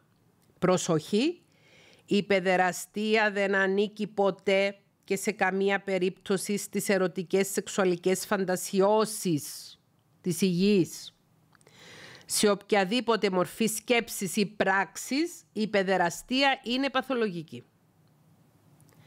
Επίσης, πρόσοχη, ένα πρόσωπο έχει δικαίωμα να διακόψει τη σεξουαλική πράξη, έστω και αν έχει συνενέσει ρητά στην αρχή, σε οποιαδήποτε στιγμή της επαφής. Το έχουμε πει και στο προηγούμενο επεισόδιο αυτό το πράγμα, ότι ακόμη και αν έχεις πει ναι στην αρχή, αν σε οποιοδήποτε σημείο κατά τη διάρκεια της σεξουαλικής επαφής νιώθεις αποστροφή και δεν θες να συνεχίσεις ή νιώθεις ότι τραυματίζεσαι ψυχικά ή σωματικά και δεν θες να συνεχίσεις, έχεις κάθε δικαίωμα να πεις θέλω να σταματήσουμε και έχεις κάθε δικαίωμα να γίνεις σεβαστό και αποδεχτό αυτό που λες. Και οπωσδήποτε οι μη συνενετικές σεξουαλικές πράξεις καθιστούν βιασμούς, έστω και συμβαίνουν μέσα στα πλαίσια ενός γάμου ή στα πλαίσια μιας ερωτικής σχέσης. Κάποιες τώρα σεξουαλικές φαντασιώσεις οι οποίες μπορεί να οδηγήσουν σε ψυχολογικά επικίνδυνες συμπεριφορές. Μπορεί σημαίνει ότι υπάρχει πιθανότητα, η οποία αυξάνεται αυτή η πιθανότητα ανάλογα με τη χρήση και τη συχνότητα της φαντασίωσης. Έχουμε αναφερθεί και προηγουμένως σε κάποιες από αυτές, επιδειξιομανία, ειδωνοβλεψία, ζωοφιλία, δεν έχουμε αναφερθεί σε αυτή, κοπροναγνία, ουρολαγνία. Είναι ασεξουαλικές φαντασιώσεις, οι οποίες αν γίνονται σε τακτική, εάν γίνονται τακτικά,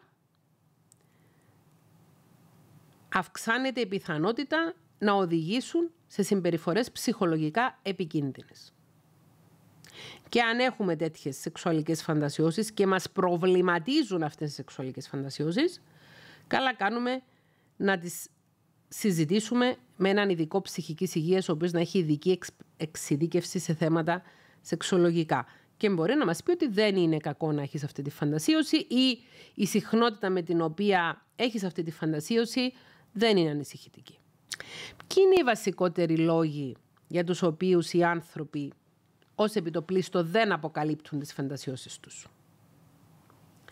Η φαντασίωση είναι ένα φανταστικό σενάριο, όπως έχουμε πει, πολύ στενά συνδεδεμένο με τη σεξουαλικότητά μας και οπωσδήποτε βασισμένο στο υποσυνείδητό μας, το οποίο περιέχει και τις ασυνείδητες αλλά και τις αποθυμένες επιθυμίες μας.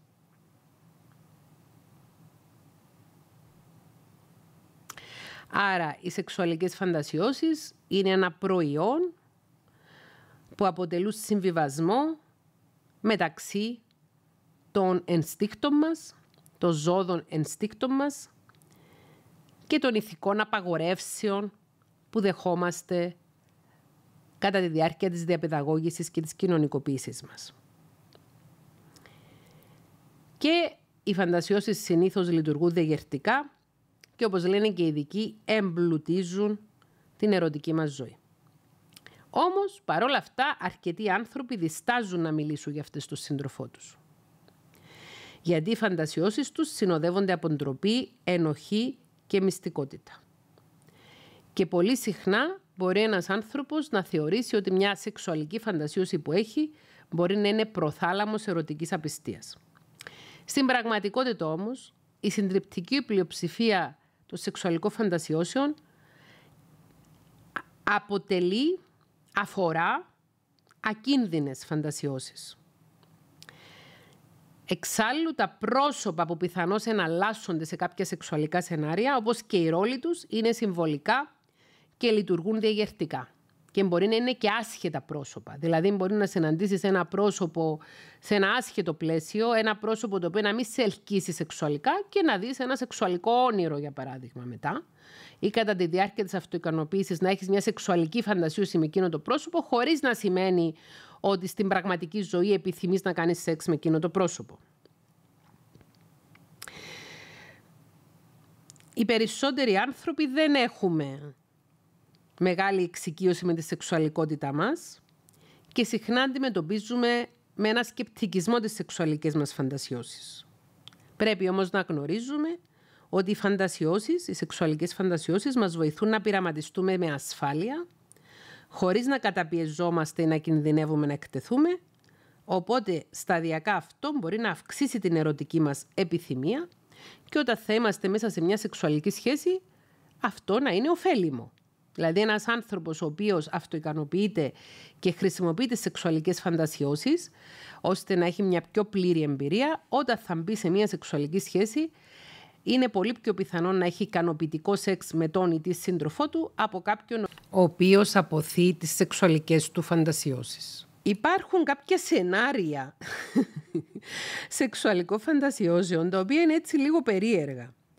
Για παράδειγμα, σεξ στο ξενοδοχείο και υπάρχουν και αντίστοιχα τραγούδια. Τώρα ένα τραγούδι της Δέσποινας Βανδύ νομίζω μου έρχεται στο μυαλό που λέει «Σε ένα φτηνό ξενοδοχείο να βρισκόμαστε». Επίσης το τραγούδι της Ελένης Βιτάλη με τίτλο «Ίσως φταίνε τα φεγγάρια» που αναφέρει στο στίχο «Μες στο φτηνό ξενοδοχείο και στα σεντόνια των πολλών μέσα σε καθρέφτες δίχως μνήμη θα ξεκινήσουμε λοιπόν».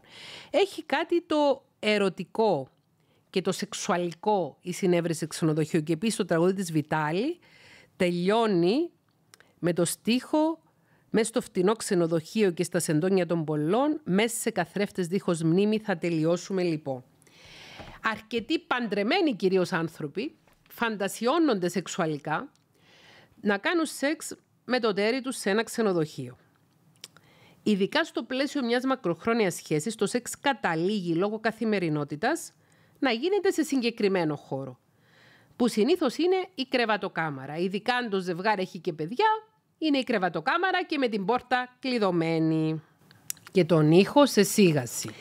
Το ίδιο το σεξ, δηλαδή τις τέσσερις φάσεις του σεξ, μπορεί να μην το βαριόμαστε. Όσο όταν κάνουμε σεξ πάντα στην ίδια τοποθεσία, μπορεί να βαρεθούμε την τοποθεσία. Και έτσι και η πιθανότητα να κάνουμε σεξ να χάνει το ενδιαφέρον της. Συνήθως αυτό δεν έχει να κάνει με το πώς αισθανόμαστε με τον σύντροφο μας ή τη σύντροφο μας, αλλά το γεγονός ότι το σεξ μας έχει κανονικοποιηθεί και έχει μπει μέσα στα αυστηρά πλαίσια της κρεβατοκάμαρας με κλειδωμένη πόρτα. Άρα ο εγκέφαλος ψάχνει για εναλλακτικές που θα προσθέσουν ενδιαφέρον, ούτως ώστε να αναζωογονήσουν και τη σεξουαλική σχέση του ζευγαριού. Οπότε ένα συχνό φαντασιακό σενάριο, μια συχνή σεξουαλική φαντασίωση που έχουν άνθρωποι που βρίσκονται μέσα σε σχέσεις συγκατοίκησης, είναι να κάνουν σεξ σε ένα ξενοδοχείο. Ίσως και γιατί τα ξενοδοχεία, τα φτηνά ξενοδοχεία με τα σεντόνια των πολλών, είναι ταυτισμένα και με μια παράνομη σεξουαλική σχέση. Πολλοί άνθρωποι έχουν παράνομες σεξουαλικές σχέσεις, ε, σχέσεις με ανθρώπους παντρεμένους, είναι και οι δύο παντρεμένοι, επιλέγουν φτηνά ξενοδοχεία με σεντόνια πολλών για να κάνουν σεξ. Επίσης υπάρχει και μια μαγεία στο να κλείσει ραντεβού ένα παντρεμένο ζευγάρι, ένα ζευγάρι που συγκατοικεί να βρεθούν σε ένα ξενοδοχείο για να κάνουν σεξ. Και μια υπενθύμηση των πρώτων χρόνων ίσως της σχέσης που δεν είχαν το δικό τους σπίτι, που δεν συγκατοικούσαν και να θυμηθούν ότι κάποτε υπήρξαν ακρεφνώς εραστές και όχι και συγκάτοικοι. Άρα άλλη μια σεξουαλική φαντασίωση για παντρεμένα ζευγάρια η οποία ενδείκνυται να την μοιραστούμε με τον σύντροφο μας ή τη σύντροφο μας και να την επιτελέσουμε είναι το σεξ σε ένα ξενοδοχείο. Και γνωρίζω αρκετά επιτυχημένα ζευγάρια, ζευγάρια δηλαδή τα οποία έχουν μακροχρόνιες σχέσεις και δηλώνουν ικανοποίηση από τη σχέση τους και τη συναισθηματική και τη σεξουαλική, που το έχουν μέσα στο πρόγραμμα τους να περνούν κάποιες βραδιές σε ξενοδοχείο, ίσως μια βραδιά το μήνα ή ένα διήμερο κάθε δύο μήνες, ε, να διανθίζουν την ε, συμβατική καθημερινότητα με κάποιες τέτοιες αποδράσεις. Μία έκπληξη η οποία έρχεται από την έρευνα και πιο συγκεκριμένα από μία έρευνα του Justin Lemiller, ενός κοινωνικού ψυχολόγου, ο οποίος ερευνά τη σεξουαλικότητα, σε αυτή την έρευνα, η οποία έγινε σε 4.000 Αμερικανούς, βρήκε ότι το 91% των straight ανδρών, το 88% των straight γυναικών και το 87% των ομοφιλόφιλων και αμφιφιλόφιλων ανδρών και γυναικών φαντασιώνονται σεξουαλικά για τον τρέχοντα σύντροφό τους. Και οι σύντροφοί τους είναι το πιο συνηθισμένο άτομο που φαντασιώνονταν οι 44.000 άνθρωποι που έλαβαν μέρος σε αυτή την έρευνα. Και αυτή είναι μια πολύ ευχάριστη έκπληξη. Εξαιρετικά ευχάριστη έκπληξη. Ρώτησε ο Τζάστιν Λε Μίλλερ 4.000 Αμερικανούς για το ποιο πρόσωπο φαντασιώνονται σεξουαλικά και η συντριπτική πλειοψηφία όλων των συμμετεχόντων, είτε ήταν straight άνδρες, είτε straight γυναίκες, είτε ομοφιλόφιλοι, αμφιφιλόφιλοι άνδρες και γυναίκες, ανέφεραν ποσοστά γύρω στο 90%. Εξαιρετικά υψηλά ποσοστά. Ένα άλλο ερώτημα, το οποίο χρειάζεται απάντησης, χρήζει απάντησης για πολλούς ανθρώπους και έρχονται σχετικές έρευνες να δώσουν απάντηση, είναι για το αν οι σεξουαλικές μας φαντασιώσεις έχουν κάτι να μας πούν για το σεξουαλικό μας ή τον ερωτικό μας προσανατολισμό που δεν γνωρίζουμε. Μπορούν οι straight άνθρωποι να έχουν ομοφιλοφιλικές ερωτικές φαντασιώσεις; Ο ομοερωτισμός, ο ομοερωτισμός είναι μια φαντασίωση που περιλαμβάνει σεξουαλικές πράξεις με μέλη του ιδίου φύλου.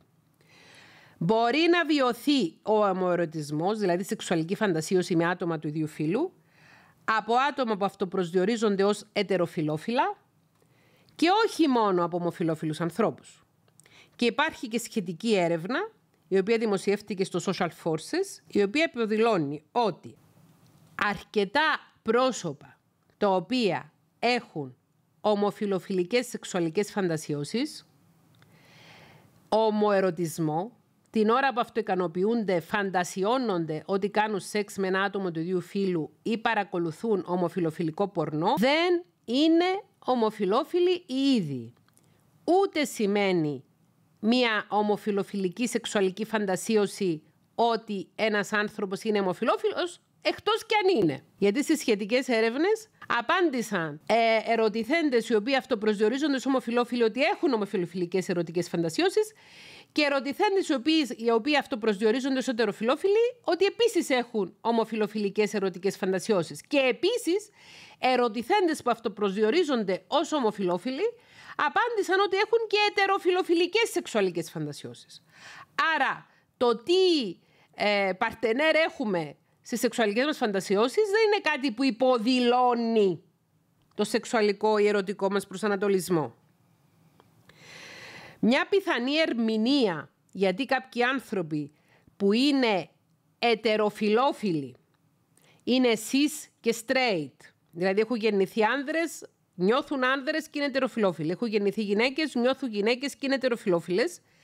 Μπορεί να έχουν ομοφιλοφιλικές σεξουαλικές φαντασιώσεις είναι ότι πρόσωπα τα οποία νιώθουν πως δεν ικανοποιούνται όπως θα ήθελαν από τόνι την παρτενέρ τους, που ανήκει στο αντίθετο φύλλο, κατά τη διάρκεια της αυτοικανοποίησης να χρησιμοποιούν ομοφιλοφιλικές ερωτικές φαντασιώσεις ή ακόμη και να παρακολουθούν ομοφιλοφιλικό πορνό, προκειμένου να καλύψουν αυτό το κενό στην ικανοποίηση τους από ένα σύντροφο που δεν ασχολείται να μάθει καλά το σώμα του ή της συντρόφου του που ανήκει στο άλλο φύλλο.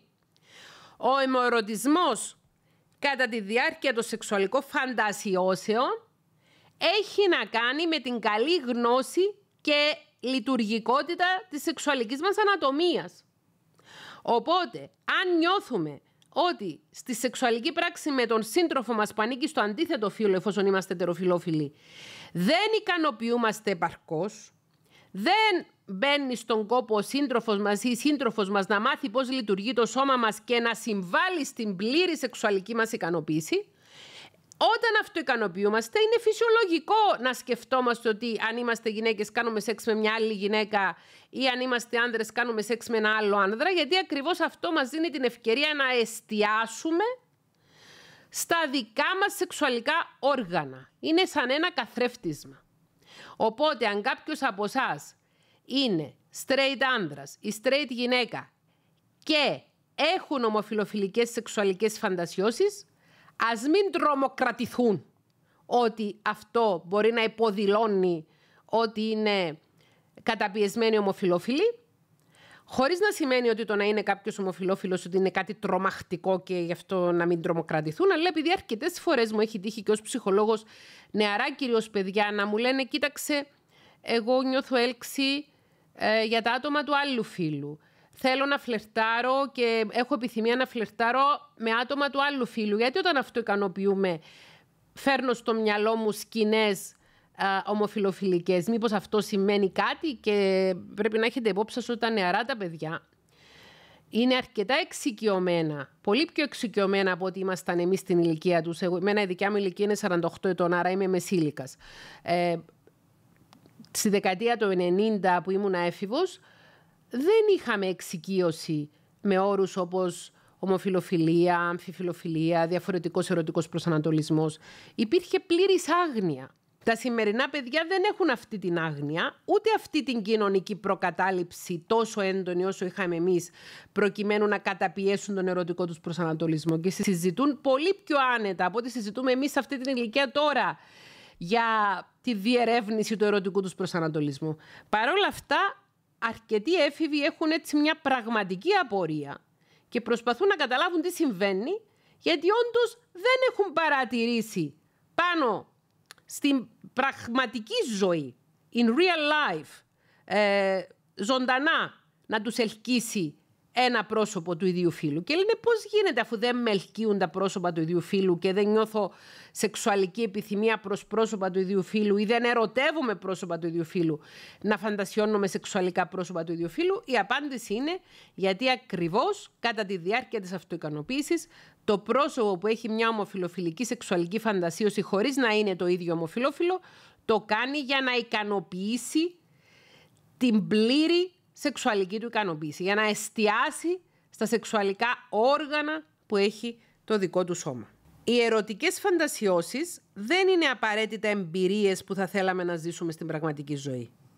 Είναι όμως, όπως είπαμε και προηγουμένως, ένας ασφαλής τρόπος για να εξερευνήσουμε τα ερωτικά μας συναισθήματα σε όλο τους το εύρος. Άλλωστε γνωρίζουμε ότι συνήθως η πραγματικότητα είναι λιγότερο ενδιαφέρουσα ή μπορεί να γίνει οδυνηρή, οπότε μερικά πράγματα, ξαναλέω, είναι καλύτερα να παραμένουν στη σφαίρα της φαντασίας. Ας τιμήσουμε τη φαντασία μας, ας την αποδεχθούμε, ας την αναγκαλιστούμε και ας την τιμήσουμε εκεί που είναι. Κατά τη γνώμη μου πάντοτε, δεν χρειάζεται να μοιραζόμαστε τις φαντασιώσεις μας με τον σύντροφό μας. Ωστόσο, κάτι τέτοιο σε κάποια ζευγάρια μπορεί να χρησιμεύσει για να αναζωπυρώσει το πάθος και να τους προκαλέσει ώστε να δοκιμάσουν νέες πρακτικές που μπορεί να αυξήσουν την αμοιβαία απόλαυση. Φυσικά, το κλειδί για το να αποφασίσουμε αν θα μοιραστούμε τις σεξουαλικές φαντασιώσεις με τον σύντροφό μας είναι να βεβαιωθούμε ότι αυτό δεν θα προκαλέσει προβλήματα, σύγχυση ή ανασφάλεια στους σύντροφους μας. Ένα τελευταίο, μια τελευταία σημείωση σε σχέση με το τι λένε οι έρευνες για τις φαντασιώσεις των γυναικών. Φαίνεται ότι παρόλο που υπάρχουν και άνδρες οι οποίοι φαντασιώνονται, ε, έχουν σεξουαλικές φαντασιώσεις που να περιλαμβάνουν εξαναγκασμό σε σεξ, περισσότερες γυναίκες συνήθως έχουν αυτές τις σεξουαλικές φαντασιώσεις. Ε, για τους άνδρες ίσως μία φαντασίωση του ότι μία σεξουαλική φαντασίωση που κάποιος τους εξαναγκάζει σε σεξ να τους ανακουφίζει από το άγχος του να είναι σεξουαλικά επιτεθέμενοι και πολύ ενεργοί. Ωστόσο το ίδιο είδος φαντασίωσης αποκτά άλλο νόημα για τις γυναίκες οι γυναίκες μεγαλώνουμε με περισσότερα ταμπού, ενοχές και αναστολές γύρω από τη σεξουαλικότητά μας. Οπότε από τη στιγμή που εμείς νιώθουμε ενοχές να επιθυμούμε το σεξ και νιώθουμε ενοχές να κάνουμε πράγματα σεξουαλικά, αν φαντασιωθούμε ότι κάποιος μας εξαναγκάζει στο να κάνουμε σεξ, εντός εισαγωγικών μας βιάζει, τότε μπορούμε να απολαύσουμε χωρίς ενοχές τη σεξουαλική πράξη στη φαντασία πάντα επειδή ακριβώς δεν υπάρχει μέσα στη φαντασία το στοιχείο ότι εμείς το επιλέγουμε.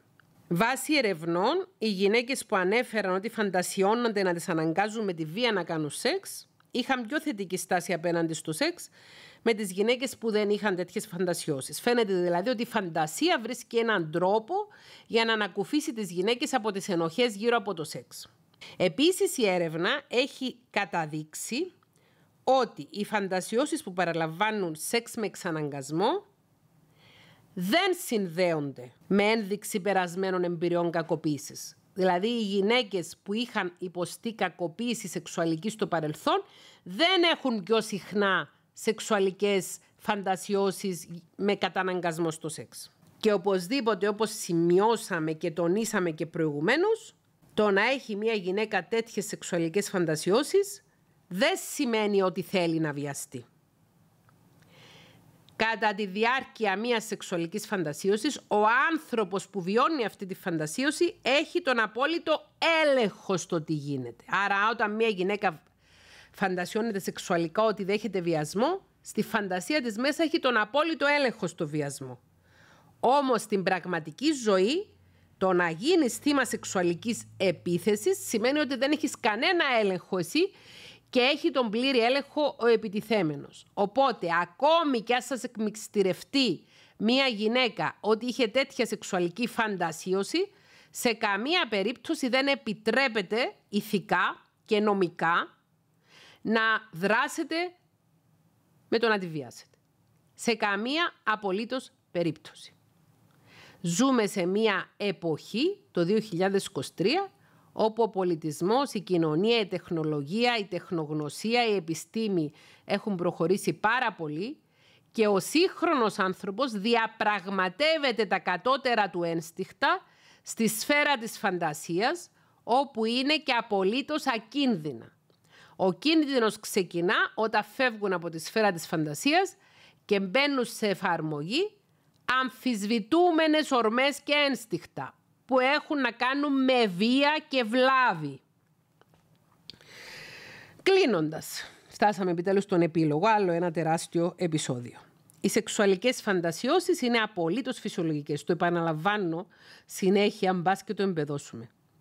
Μια σεξουαλική φαντασίωση που έχουμε δεν μας χαρακτηρίζει ως άνθρωπο και δεν αποτελεί ένδειξη ή απόδειξη οποιασδήποτε ψυχοπαθολογίας ή βαθιά κρυμμένης επιθυμίας. Οι σεξουαλικές φαντασιώσεις κάνουν την εμφάνιση τους στην εφηβική ηλικία και συνοδεύουν τη φυσιολογική πράξη της αυτοικανοποίησης.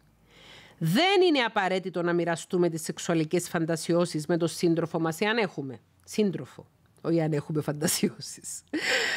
Κάποιες σεξουαλικές φαντασιώσεις όταν με, μετουσιώνονται σε πράξεις μπορεί να αποτελέσουν ποινικά δικήματα ή να συναντούν τα κριτήρια για τη διάγνωση μιας παραφιλικής διαταραχής και μιλήσαμε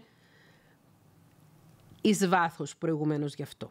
Ένας άνθρωπος με καλή ψυχική υγεία, ψυχική ευεξία, ευθυκρισία και υγιείς ανθρώπινες σχέσεις, βαθιές σχέσεις και με νόημα, δεν θα μπει καν στον προβληματισμό για να βάλει σε εφαρμογή σεξουαλικές φαντασιώσεις που εφαρμογή του σπάει τα όρια της συνένεσης και της νομιμότητας. Σε μια υγιή ερωτική σχέση ζωντανή, με γερά θεμέλια, οι δύο σύντροφοι αναπτύσσουν τέτοιο βαθμό επικοινωνίας και αλληλοκατανόησης, ώστε οι ερωτικές τους φαντασιώσεις να μην απέχουν πολύ από την πραγματική σεξουαλική τους ζωή. Οι σεξουαλικές φαντασιώσεις εμφανίζονται και αναπτύσσονται σε μια ηλικία, την εφηβεία, όπου οι περισσότεροι άνθρωποι δεν έχουν σεξουαλική ζωή με σύντροφο. Ως εκ τούτου, αποτελούν ένα πολύ προσωπικό κομμάτι του ανθρώπου και της σχέσης του με τον εαυτό του, της προσπάθειας του να καταλάβει τους ανθρώπους και το σεξ. Μπορεί επίσης οι σεξουαλικές φαντασιώσεις στην εφηβεία να είναι επηρεασμένες από τα βίντεο του mainstream πορνό που ίσως παρακολουθεί. Θυμάστε το προηγούμενο επεισόδιο του podcast. Οπότε, αν στην εφηβεία μας παρακολουθούσαμε mainstream πορνό και είχαμε συγκεκριμένες σεξουαλικές φαντασιώσεις επηρεασμένες από το mainstream πορνό, αυτό δεν σημαίνει ότι θα πάμε τώρα στην ενήλικη ζωή να μοιραστούμε εκείνες τις σεξουαλικές φαντασιώσεις της εφηβείας και να προκαλέσουμε αναστάτωση στη σχέση μας γιατί είναι βασισμένες πάνω σε σενάρια του mainstream πορνό που έχουν μέσα κατακριτέα στοιχεία, όπως είπαμε στο προηγούμενο επεισόδιο. Σε καμιά περίπτωση δεν είναι υποχρεωμένος ένας άνθρωπος να μοιραστεί τις σεξουαλικές φαντασιώσεις που είχε στο παρελθόν με ένα νέο ερωτικό σύντροφο. Χρειάζεται να αφήνουμε τον εαυτό μας να βιώνει αυθεντικά τη σεξουαλική του ζωή και να εξερευνά την ερωτική σχέση που ίσως έχει, αν έχει σχέση με άλλον άνθρωπο. Γιατί και ένας άνθρωπος που είναι μονήρης μπορεί να έχει σεξουαλική σχέση με τον εαυτό του και να έχει και σεξουαλικές φαντασιώσεις και να αυτοικανοποιείται. Και είπαμε, η αυτοικανοποίηση αποτελεί μια άλλη μορφή σεξ. Επίσης, κάτι το οποίο αποτελούσε σεξουαλική φαντασίωση στο παρελθόν για έναν άνθρωπο, μπορεί στο παρόν να φαντάζει αδιάφορο. Κάτι το οποίο μας εξήταρε πριν 20 χρόνια και είχαμε σεξουαλικές φαντασίωσεις γι' αυτό, τώρα να μας είναι αδιάφορο. Η φαντασία είναι χρήσιμη για την καλή λειτουργικότητα του ανθρωπίνου εγκεφάλου. Είναι μια χρήσιμη και απαραίτητη λειτουργία. Έχει το δικό της ρόλο η φαντασία να παίξει σε διάφορους τομείς και στο σεξ επίσης. Ας μην δίνουμε στη φαντασία μεγαλύτερο ρόλο από αυτό που έχει και ας μην την περιορίζουμε επίσης. Ας την αφήσουμε να υπάρχει. Let it be. Και όσοι άνθρωποι έχουν ερωτικό σύντροφο, καλή ιδέα είναι να εστιάσουν στην καλυτέρευση της ερωτικής τους ζωής με τον σύντροφό τους σε σημείο που η πραγματικότητα να ξεπερνά τη φαντασία. Γίνεται και μας το εύχομαι ολόκαρδα. Θα τα πούμε την επόμενη πέμπτη με ένα νέο επεισόδιο. Χαίρετε.